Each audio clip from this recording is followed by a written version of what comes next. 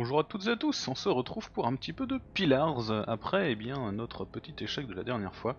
Euh, donc clairement on est euh, pas assez costaud pour l'instant pour euh, aller taper sur la grosse saloperie.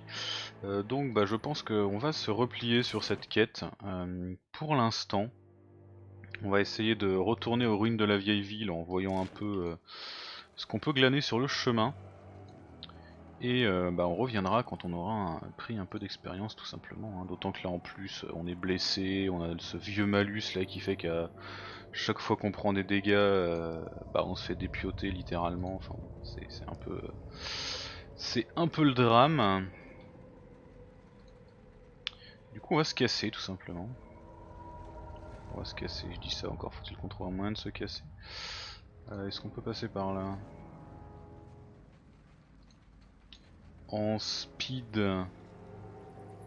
Ouais, ça passe là. Ça passe, ça passe. On va faire attention parce qu'il n'y avait pas que la grosse larve hein, qui foutait la merde dans le coin, il y avait aussi d'autres trucs un peu plus terre à terre, style du morbac bien, bien énervé. Euh, ici on peut pas passer, ici on peut passer, par contre on doit marcher dans des corps en décomposition ici on a encore un, saut des cauchemars ou une saloperie du genre. Allez, on avance les gens. C'est parti. Là je crois qu'on va commencer à arriver en zone connue, voilà parfait. Les ruines de la vieille ville c'est là. C'est parti. Euh, vous pouvez sortir de... voilà. On va aller voir la bonne femme, lui dire que bah ce sera plus tard. Et on va voir ce qu'on a éventuellement d'autres comme quête. On a d'autres trucs à faire dans la ville hein, de toute façon, ne serait-ce qu'aller rencontrer les gens qui nous attendent. Donc on va peut-être faire ça pour euh, glaner quelques points d'expérience.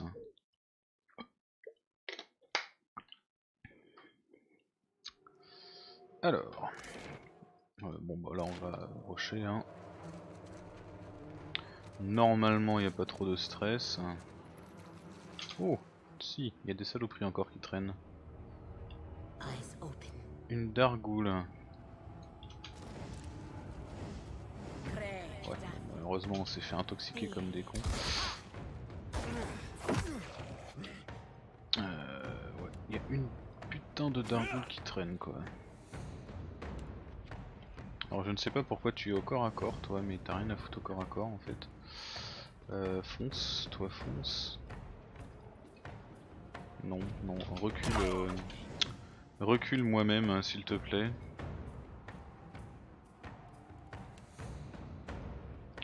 Brûlez-moi cette saloperie.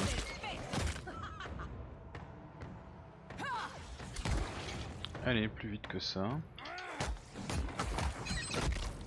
Euh, allô, vous me finissez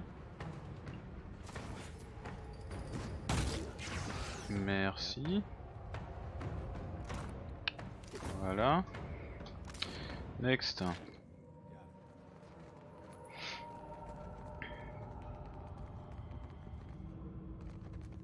J'ai des petits lags euh, ce soir là. Ah, il y a une saloperie qui nous a vu. Ok, donc en fait il y a des monstres qui repop visiblement. Hein. C'est pas, pas non plus safe de se balader comme ça euh, en faisant n'importe quoi. Alors où est-ce qu'il est parti? C'est parti les gars. Alors ça c'est un peu plus costaud qu'une qu'une goule standard. Hein. Ah tiens dis donc il y a une mise à jour, c'est ici maintenant la communion de la chair. Très bien. Pourquoi pas, les plaies sont un peu plus... Ah oui, euh, l'interface a globalement été un petit peu retravaillée, tiens, j'avais pas fait attention avec la dernière mise à jour. on voit que maintenant les, les, musiques, les plaies, la concentration et tout, tout est euh, concentré en bas plutôt qu'en haut, c'est très bien. J'apprécie. Allez, on est nombreux, il est tout seul. On va très vite fait le défoncer, s'il vous plaît. Voilà, merci. Un petit peu de loot peut-être Ouais. Quelques petites saloperies. Allez, en avant.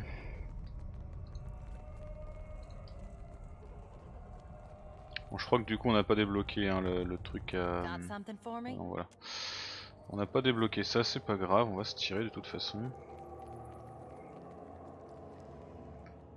On reviendra plus tard. On va pas s'acharner euh, comme des cons sur un truc qu'on peut pas te faire. Hein.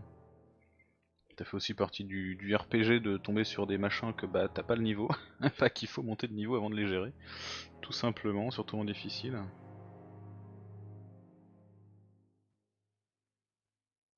Et bon là, euh, on est sur un sac de PV qui te euh, one shot en un coup.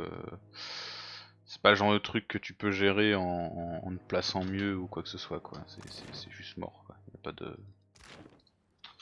Y a pas d'autre débat. Allez on trace.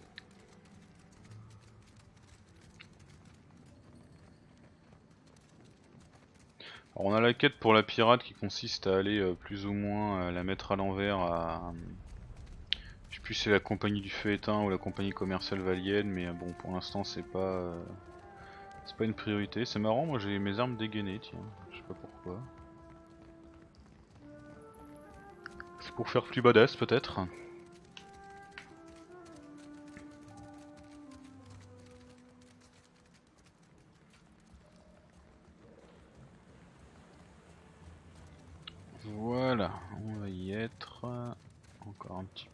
C'est bon. Allez hop, on remonte.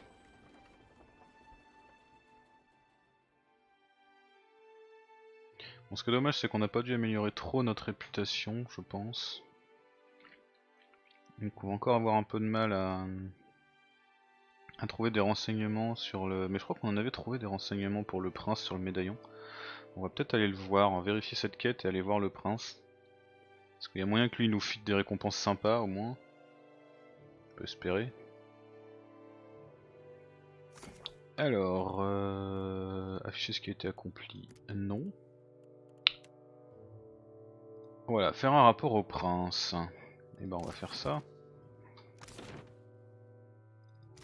Inutile de dire que si on doit choisir, on se passera du côté du prince. Les bas-fonds c'est bien deux minutes, mais... Euh, ça paye pas. En tout cas, euh, pour l'instant ça ne paye pas.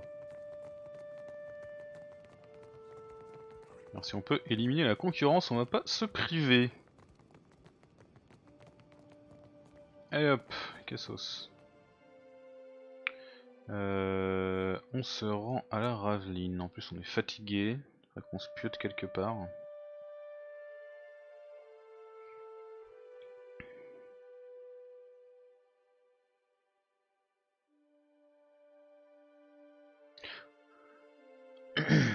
On avait pris les blessures euh, suite à un événement. Il fallait traverser une, fissure là. Faut quand même faire attention parce que trois blessures tu meurs définitivement. Euh, si tu fais trois événements pourris c'est terminé quoi. Tiens, on a trouvé un truc ici, bah allons-y. La vache, l'autre elle, a détecté un truc à l'autre bout de la raveline quoi. Chez Maya. Ah mais ça doit être l'endroit où, euh, où l'autre a caché sa thune. Non, ça doit être ça je pense. On, a, on a lu la, lettre du. Euh, enfin, on a vu l'âme euh, du type qui s'est fait jeter euh, dans la fosse et il nous disait Oui, j'ai planqué ma thune ici, parfait. 600, 600 d'or, hein, c'est nickel. C'est absolument nickel. Ça, c'était rentable. combien de sous? 3300, tiens, on pourrait améliorer ça. Oh, bah on pourrait améliorer plein de trucs. Pourquoi est-ce qu'on peut d'un coup améliorer plein de trucs Ah parce qu'on a du blé, tout simplement. On a plein de blé, donc on peut payer 3000 en fait. Ouais bon, pour l'instant, c'est pas une priorité. Il nous faut plutôt des sous pour équiper notre bateau un peu pourrave. Euh, par contre du coup, on avait des gens à aller voir à la citadelle de cuivre, on va donc y aller. Euh, ouais, on ira voir le prince plus tard. Quoique. Non, on ira voir le prince plus tard. On va aller voir euh, les gens de la compagnie du feu éteint parce qu'il y a moyen que ça débloque quelques trucs. Une fois qu'ils nous auront fait leur, leur blabla de recrutement habituel.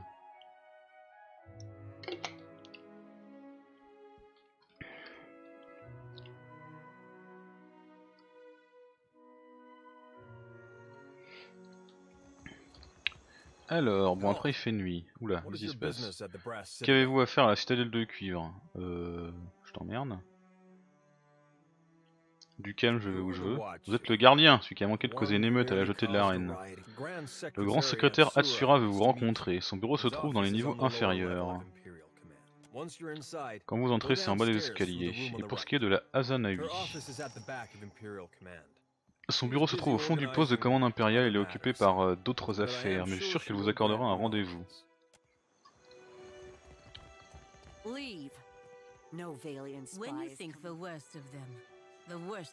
Euh, ouais, alors du coup, comme j'en parle, il y a un garde qui empêche de. qui essaie d'empêcher d'entrer une marchande?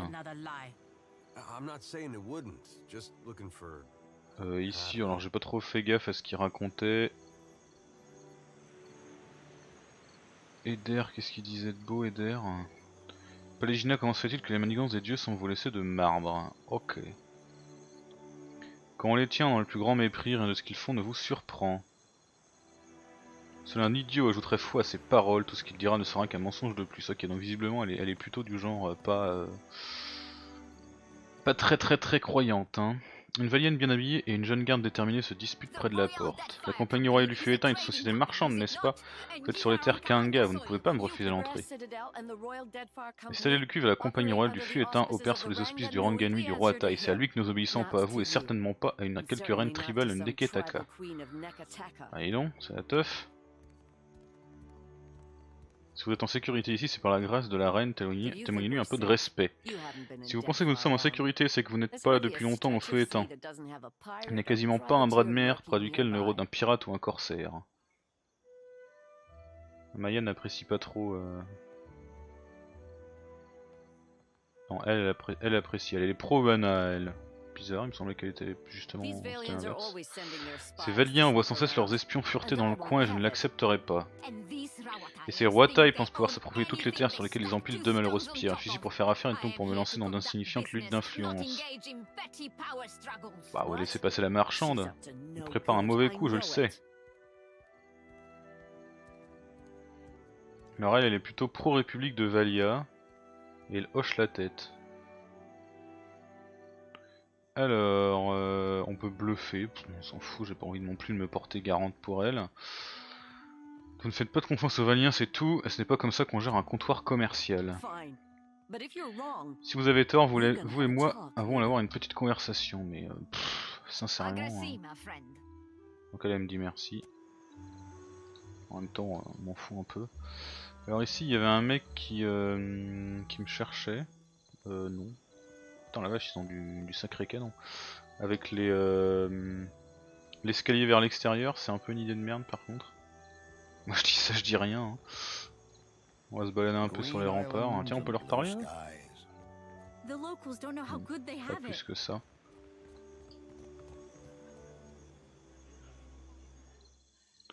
Euh, pif paf pouf, un poste de commande impériale, bah on-y.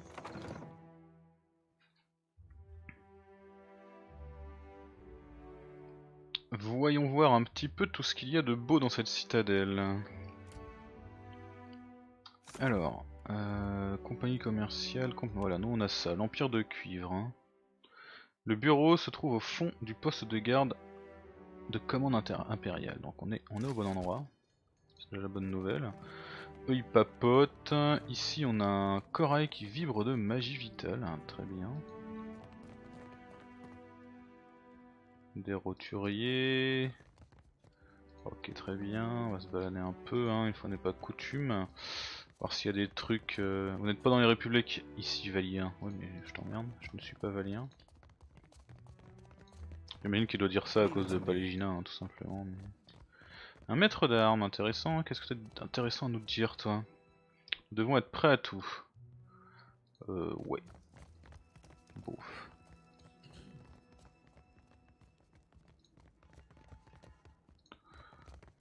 Hmm, donc ici on a la, fille qu'on vient voir. Là on a des, trucs. Une plaque sous le corail indique une parcelle du roi taille pour le feu éteint avec les compliments du maçon du corail roi pour la gloire de Nantaï. Ok. Bah on va lui parler. J'ai envie de dire, on est pour ça. Alors elle fait les sympas, elle lève les yeux lorsque on entre et nous adresse un bref hochement de tête. L'ancien seigneur de Kadnua et effrayeur des capitaines de port ont eu occasion, en croire les racontars. Vous n'avez pas rapporté beaucoup de nouvelles récemment. Donc en plus des pilleurs, des profiteurs et des esclavagistes, le fait éteint contre un dieu vengeur vadrouillant dans ses mers. Euh, ça pourrait être pire, au moins ce n'est pas Sken. Ok.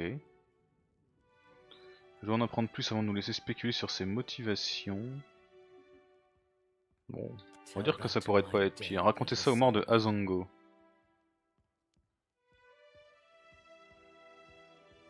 Apparemment, euh, elles ont bien aimé euh, que je fasse une blague. Pile ce dont a besoin l'archipel, une vase de plus, une catastrophe de plus, pardon, dans un vase bien plein. Il faut l'arrêter. Vous pouvez enfin la voir pleinement. Elle n'est pas spécialement large pour une Naumoa, mais elle se tient très droit. Son visage tanné semble usé par les jours entiers passés sur un pont à braver les tempêtes et le soleil de plomb. Très bien. Euh, c'est un géant d'Adra vivant capable d'absorber les armes en un instant. Vous avez un plan. ok. Euh, on va dire évidemment qu'il faut l'arrêter. De la détermination un bon point, mais il vous faut un plan et un allié. Les Valiens ne vont pas le petit bois sauf pour attraper une pièce et les Vanna ne feront guère plus. Les rois athées n'ont pas connu un immense succès en matière commerciale, mais l'amerture vous s'y a ravir. Personne ne veut s'occuper des problèmes majeurs, mais peut-être pouvons-nous collaborer pour satisfaire nos intérêts mutuels. On va lui dire que c'est une possibilité Regardez autour de vous, le fétin regorge d'îles fertiles et tempérées. Le climat est clément, très bien. Pourtant, la majeure partie est inhabitée. Les tribus nomades errent sur certaines îles, les contrebandiers et esclavagistes se sont appropriés le reste. C'est un vrai gâchis. Imaginez ce que serait cette terre avec des routes maritimes bien gardées. Combien de rois tailles nous pourrions nourrir si nous pouvions cultiver ici? Vous exploitez donc le feu éteint pour le compte du roi taille. Un point de vue bien naïf. Le genre que nos ennemis aiment diffuser. Les violentes tempêtes du roi taille nous ont façonnés et endurcis comme elles ont façonné et endurci la terre rocheuse de notre patrie. Mais survivre là-bas reste difficile c'est pourquoi nous comptons sur le commerce les plantations que nous avons établies ici. Très bien. Euh, on va lui demander s'il y a un, quel rapport avec moi. Donc on est, euh, on est agressif. Hein. du coup, euh, elle nous dit qu'on a le don de foncer tête baissée. Certains pousseraient qualifier cette attitude d'insouciante, mais j'y vois un atout. De toute façon, je trouve ça insouciant, je t'emmerde. Voilà, pour appuyer le point. Alors, si vous chassez le dieu qui ravage ces terres, nous avons un objectif commun, et si vous comptez survivre dans le coin, vous avez besoin d'une alliée. On va lui demander ce qu'elle a en tête. Le désastre d'Azongo reste un problème majeur. Nous comptons sur ce port pour livrer de la nourriture au roi taille. Faudra attendre jusqu'à votre enquête. À part ça, d'autres affaires demandent votre attention. Atsura, notre grand secrétaire, a imaginé un plan qui pourrait nécessiter vos talents. Son bureau est en bas, il vous en dira plus. Voilà. À quoi jouez-vous sur ce plateau? Ah, c'est le truc qui est là, le plateau de jeu qui est ici. Atsura et moi, il lançons souvent une partie en course, assez dure depuis plus d'un mois et demi. Atsura le chic pour tromper l'adversaire, mais je suis persévérante. Qu'est-ce qu'il est arrivé à votre main? Elle tend la prothèse vers vous, c'est un ouvrage délicat avec des articulations renforcées à chaque doigt, au fini très lisse. C'est arrivé un an après mon premier commandement, alors que nous chassions des pirates le long de la côte sud du roi Atai, un de leurs tirs a atterri juste à côté de notre magasin, un coup de chance. Je me suis précipité en bas, le feu se propageait déjà en direction de nos réserves de poudre. J'ai étouffé les flammes avec ce que j'ai pu avec mon uniforme, j'ai sorti le reste à main nue. Mhm. On va dire au moins avez-vous réussi à en garder une? Vous avez un étrange sens de l'humour. Mais tout à fait, toute victoire a un prix et le triomphe revient à ceux qui savent se sacrifier. Je parie que vous en savez déjà quelque chose. Ok, donc bon, bah, rien de plus avec elle pour l'instant. Euh, faut qu'on trouve l'escalier pour descendre et parler euh, à machin. On va continuer de se balader un peu. Tiens voilà, il y a un niveau inférieur ici. Sabormi, qui es-tu toi? Une jeune femme au grand sourire radieux aux yeux rieurs lève la main pour vous adresser un salut rapide mais enthousiaste. J'oublie toujours le protocole. Vous êtes bien le gardien de Gaël Nua, pas vrai? Je n'avais encore jamais rencontré quelqu'un de connu, à part le Hanazui, mais elle me, elle me hurle parfois dessus. La Hanazui vous hurle dessus. Oh, sans arrêt. Elle ne peut pas s'empêcher de sourire. Où est ma feuille blanche? Arrêtez de rêvasser. Saborni, si vous agarrez encore une fois le registre, vous entendez nettoyer les latrines. Pendant tout ce temps, je m'étais même pas rendu compte qu'elle connaissait mon nom. ok. Alors apparemment euh, elle est enthousiaste parce que c'est la première fois qu'elle quitte le pays euh, ingrat, qui est le pays des rois à taille. J'avais entendu dire qu'il y avait de denses forêts luxuriantes et des plages de sable sans une tempête à l'horizon, mais je n'aurais jamais imaginé ça. Vous devez avoir beaucoup voyagé et visité toutes sortes d'endroits extraordinaires. Bon, elle a l'air d'avoir la pêche au moins, c'est cool. Bien sûr, il faut juste que je convainque Eotaz d'arrêter de les piétiner, ça, me plaît bien ça. Ça c'est de l'aventure. J'adore le roi mais il est rare que cool une semaine sans quelques tempêtes, ou des coulées de boue qui ensevelissent un visage. On va demander s'il y a un truc à vendre. J'aimerais vraiment, mais les réserves sont destinées à la compagnie royale du feu éteint et à nos alliés. ça paraissait plutôt logique.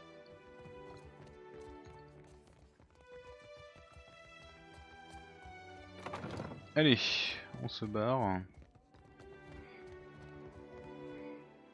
On se barre. On passe à l'étage du dessous, hein, disons. Petit, un petit épisode sans combat pour changer de ces sessions euh, de fight intense hein, et de tabassage intense aussi. Alors, euh, à quoi ça ressemble? Ici on a un truc. Ah bah on a Atsura, ok très bien direct, parfait. Une plaque sous le corail indique, de même que nous façonnons le corail, nous façonnerons les nations, à la victoire votre Ranganui. Intéressant. Alors Atsura, qu'est-ce que nous dit de beau? Il nous considère avec des yeux attentifs, sans ciller, avec une expression parfaitement ouverte. Il penche la tête en vous évaluant, il marque une pause un peu plus longue que d'habitude avant de reprendre. Puis il croise les bras et vous adresse un hochement de tête. Lent mais incroyablement courtois. Le geste est si parfaitement chorégraphié qu'il semble avoir longtemps répété. Le signe noir, seigneur de Kednua. Et on remarque des trucs. Compréhension. Vous remarquez à son regard méticuleux et la pose marquée avant de parler qu'il est en train de vous étudier. L'ostentation de manchant de guerre, mais ce que vous avez montré à jeter de la reine et sa pensée que vous ne vous reposez pas sur votre style, mais être remarquablement habile. Normalement, laissez passer la pommade. Hein. Alors, j'ose croire que je ne manque pas des deux.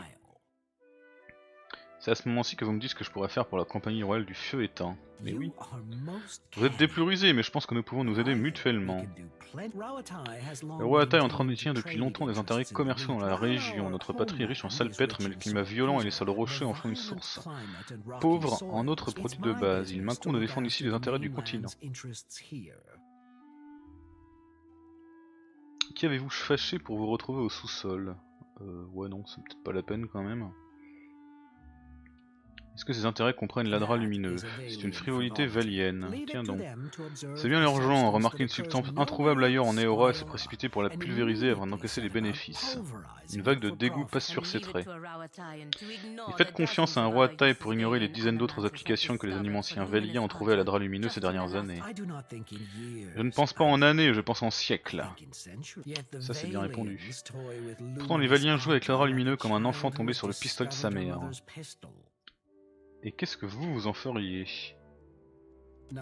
Rien. Nous en savons trop peu sur le droit lumineux pour comprendre les conséquences en l'arrachant ainsi. Peut-être pouvez-vous nous aider à les empêcher de faire davantage de dégâts?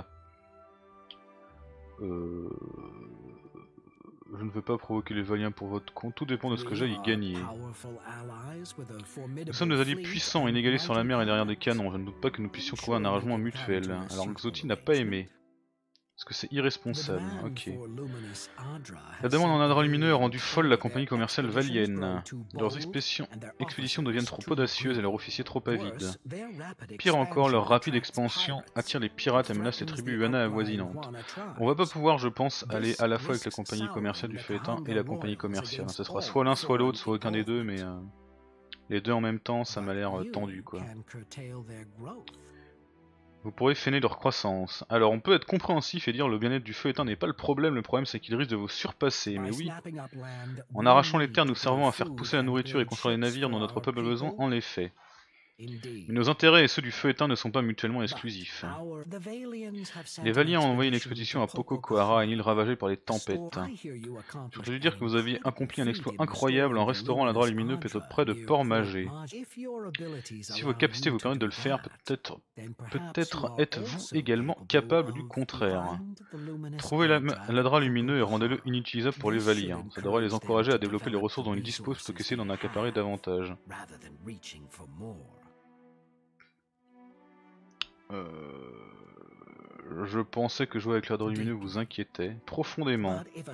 Et si un petit sacrifice permet de décourager les Valiens de s'aventurer davantage, alors c'est un prix qui vaut le coup d'être payé. Sauf qu'on sait très bien que l'ordre lumineux, il était euh, plus lumineux parce qu'Eotas l'avait euh, l'avait absorbé, hein, donc euh, on n'est pas trop capable, je pense, de le, de le désactiver. quoi. On va demander pourquoi on l'aiderait déjà. Parce que les gouverneurs comme Clario ne sont pas nombreux. La plupart des administrateurs valiens se préoccupent peu du bien-être des Vanas. Si les valiens annexent Poco Kohara, c'est la population locale qui va en souffrir. Nous verrons.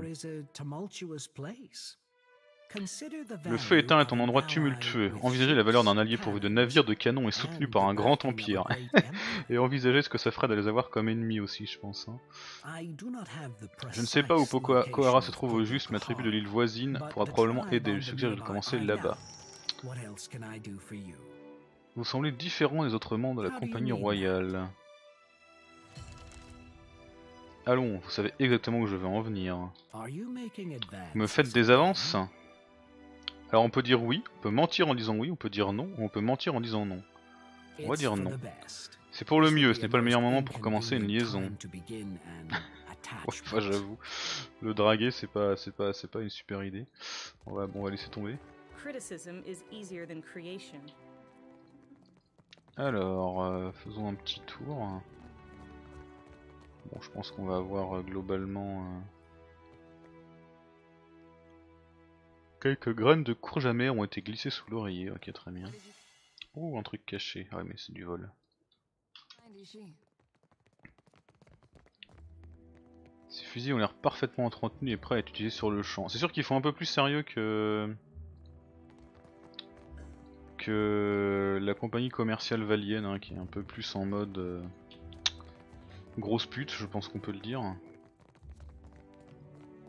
Quelqu'un a accroché une ébauche d'épopée sincère mais lamentable. ok, intéressant. Où est la sortie? La citadelle de cuivre, c'est par là. Hmm, on va faire vite fait un tour euh, dans les grandes pièces qui traînent par là, mais à mon avis... Ok, ça c'est les geôles, très bien. Il n'y a personne intéressant, s'il y a quelqu'un. Bon, il est en train de nettoyer. Parfait, tirons-nous. On a rencontré les deux personnes euh, un peu euh, intéressantes du coin. Donc maintenant, il est temps de s'intéresser à la rue.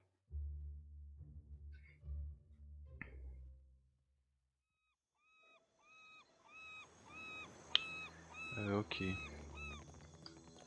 Il y a des trucs à prendre ici. Deux secondes. Du grog et du rhume du rhum, pardon. On prend. Hop là. Ah, on remonte. Ok, d'accord. En fait, on n'a pas le choix. On est obligé de remonter là. Bon, bah, un go. Du coup.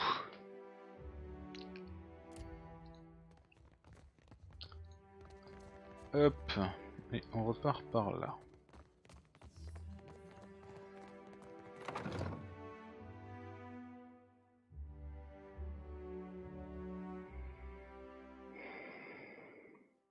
Eh bien, bien, bien. Ah. Why does Ranga carve his name into so if things had played out different, you might have grown up here. True. Alors, qu'est-ce qu'ils disent Merde, on n'a pas le texte. Vous inquiétez de savoir pourquoi les compagnies marchandes s'installent ici. Sans vouloir vous offenser, j'essaie de ne pas vivre en traînant une série de si dans mon sillage. Bon, Eder il tente de, de, de, se faire des relations, mais il se fait gentiment rembarrer. Quoi. Regardons un peu les réputations. Pour l'instant, il déteste personne. Ah, elle, elle aime pas Xoti, tiens. Intéressant. Elle, elle aime bien euh, Maya. Nous, bah on s'entend euh, pas ouf avec tout le monde hein, au final. Et elle, elle aime bien Xoti, ok très bien. Euh, on va plutôt passer par là, il y a un grand escalier qui m'a l'air intéressant, par contre j'ai activé le mode rapide, je sais pas du tout ce que je voulais faire. Oula, il y a du monde. Bureau du maître de la flotte, salon des officiers, très bien. Ah, une armurerie, ça, ça me plaît plus déjà. Allons faire un petit peu de shopping en speed, et après on s'arrêtera là.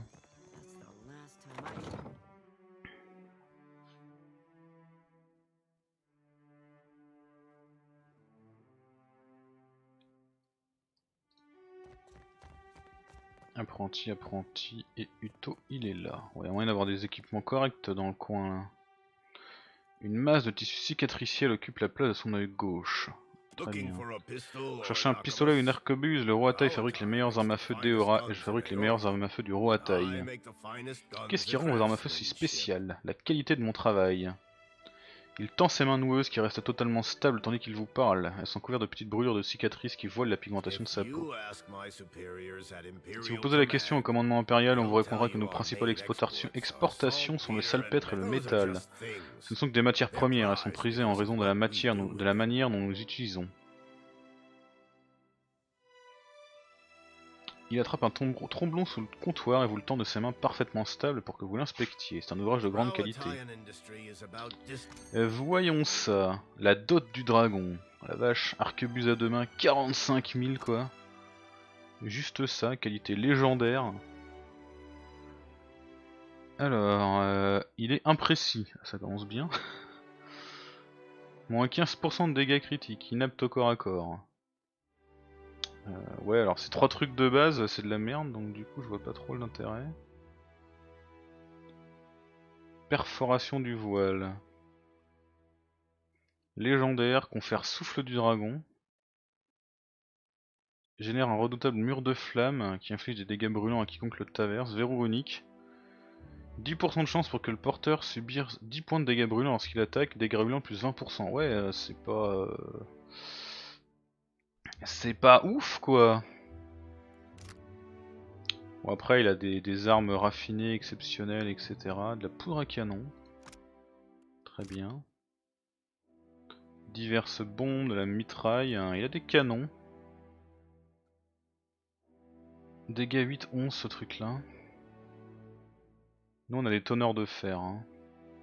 Alors la langue de verre, euh, toujours, toujours pareil quoi, le truc qui tire des ballons, des, boulets enflammés. Hein.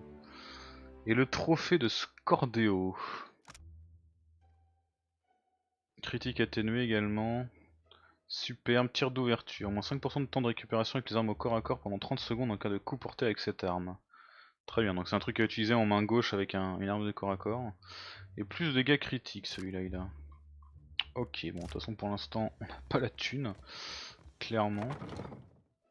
Et du coup, bah, on va s'arrêter là pour cet épisode. Euh, j'espère que ça vous aura plu. Bon, on est un peu plus sur de la gestion. Je vais peut-être faire un épisode en off pour, euh, pour euh, comment avancer un petit peu, visiter les trucs et voir s'il n'y a pas des quêtes. N'hésitez pas à me dire si vous voulez qu'on fasse un peu plus d'action ou qu'on reste, qu'on avance aussi un petit peu l'histoire. Parce qu'après tout, bah, ça peut peut-être vous intéresser tout ce qu'il y a à dire. C'est quand même un jeu qui est très riche, hein, donc au niveau des quêtes, au niveau des dialogues. N'hésitez pas à me laisser un petit commentaire à ce sujet et je vous dis du coup à très bientôt pour la suite. Merci à toutes et à tous.